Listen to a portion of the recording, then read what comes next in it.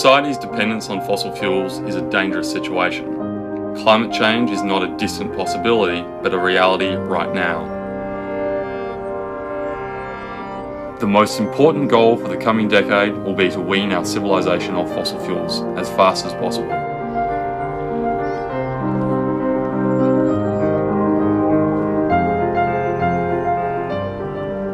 A task that should have been started by previous generations, but is now left up to my generation.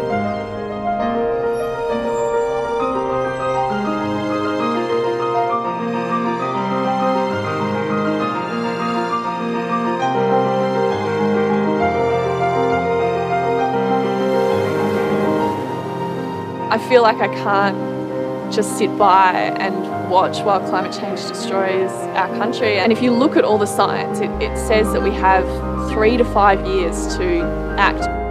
I've come to understand the implications of the climate crisis, but I've also seen humanity's potential to develop solutions that can overcome that. I think uh, the world on the whole has become very short-term focused, and I think if we are to address the issues that need to be addressed in our world today, uh, we need to be thinking long-term and strategically. As we see intense flooding and sea level rise just wipe out islands and countries across the map. And things with plenty of things to do with my time that I would enjoy a hell of a lot more, but I can't think of anything more important.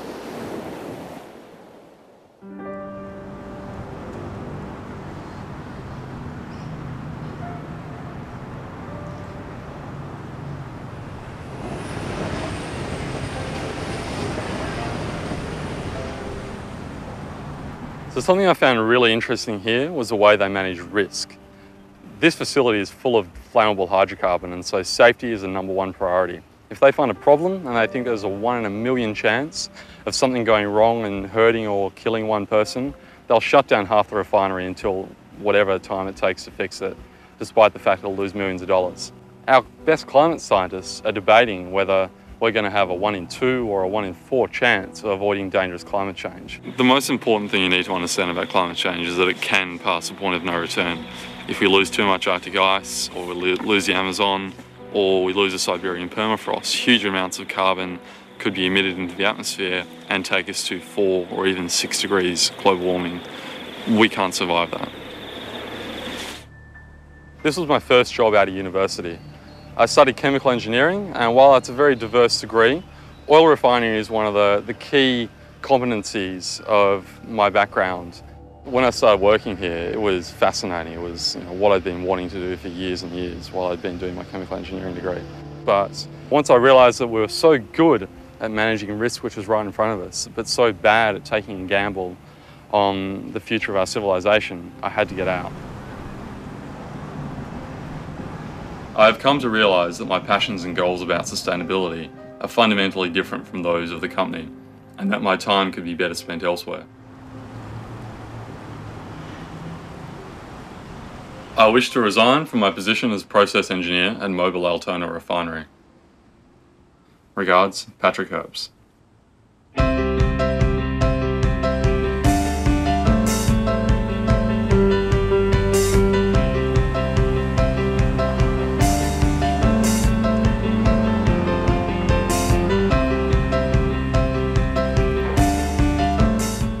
So on my last day, I gave a presentation about 30 or 40 staff who showed up on, on climate science, on what I knew about it, and on renewable energy solutions and what we needed to do about it, just to sort of give them a bit of my perspective as to why I was making this choice. Most people were actually quite interested, but I guess they were in a bit of a different sphere of like, yeah, that's a really good idea. Someone should do something about that. Where I was like, if no one else is going to do anything, it's going to have to be me.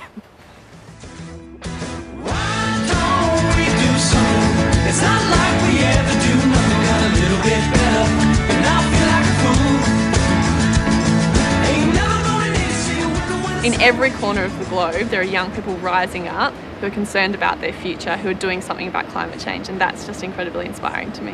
At the start of 2009, I was still working at the oil refinery. I just got back from a trip to Africa, and there was a big protest going on at Federal Parliament House in Canberra. So I actually called in sick to work and jumped on the bus to get up there uh, to you know, join the hundreds and hundreds of people encircling Parliament House to, to tell them we wanted serious action on climate change. So when I left the refinery, I became the project coordinator for the Zero Carbon Australia Stationary Energy Plan, leading a team of volunteers. Beyond Zero Emissions is a group of smart, bright, well educated young people. They're working together to create the future they want to live and work in.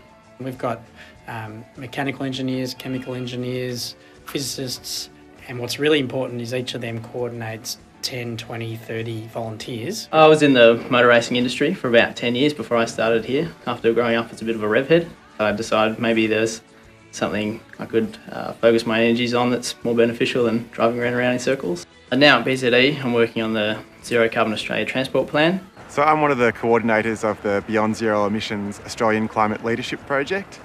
And the aim of that project is to really change Australia's public debate about our contribution to climate change. I've been volunteering at BZE for two years and I work in corporate partnerships.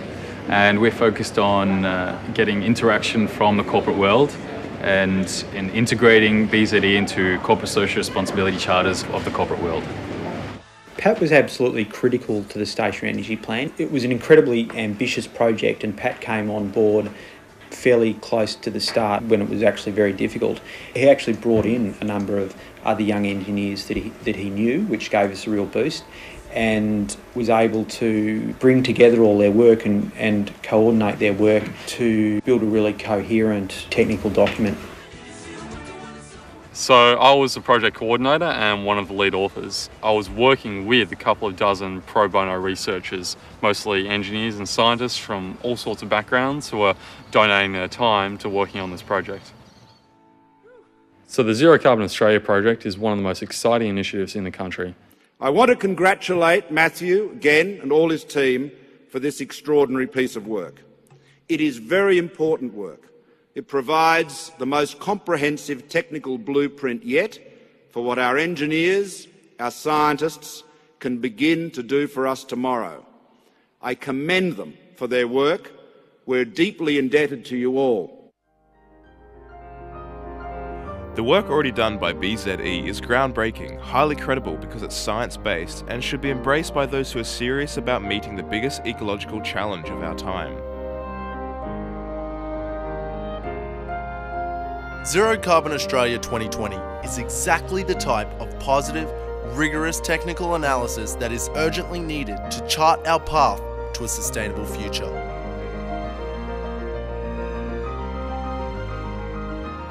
This is a cutting edge science based plan that should be read by every energy decision maker and politician in Australia.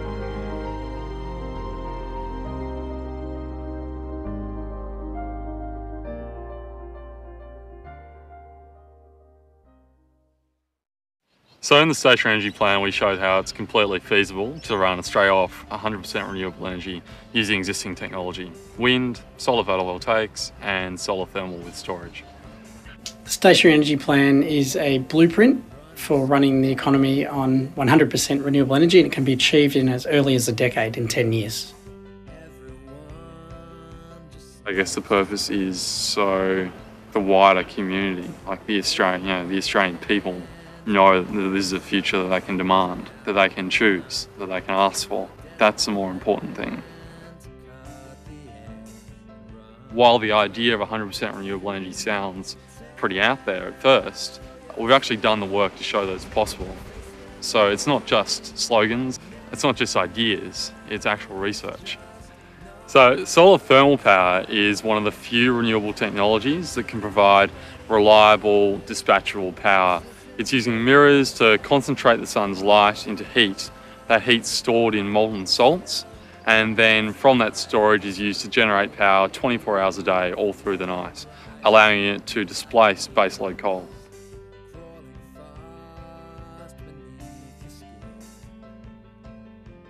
So the great thing about renewable energy is that the more we build it, the cheaper it gets, whilst fossil fuels only get more expensive. So it's expected that within five years, wind and solar photovoltaic could be competitive with conventional electricity. However, we're not going to get there unless we have more ambitious policies. Climate change is not a oh, we're going to solve it in 20, 30 years type problem. It's the kind of problem we should have solved 20 years ago, and it's almost too late today. And we basically need to fix it right now. Well, young people are the ones who are brave, willing to take the risks, and have the vision to know what's possible. So that's why I think that young people will be and are at the forefront of this social movement. I just think it's more interesting pursuit and and enjoyable to be able to like change the world in a positive way. And I think the whole team at Beyond Zero Emissions feels the same way. So it's um, great to be part of something like that. We wanted to show the Australian community at large that a 100% renewable energy future is completely achievable and one that we should all be choosing.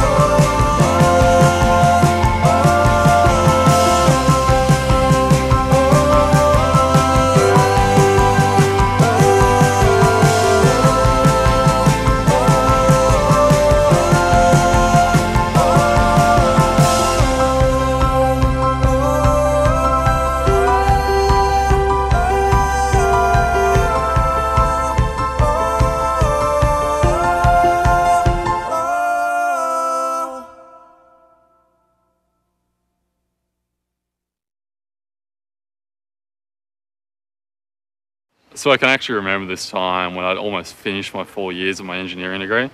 I took this environmental subject in the arts faculty and I was sitting around with this group of art students and one girl piped up with this idea of, we really need 100% renewable energy in 10 years.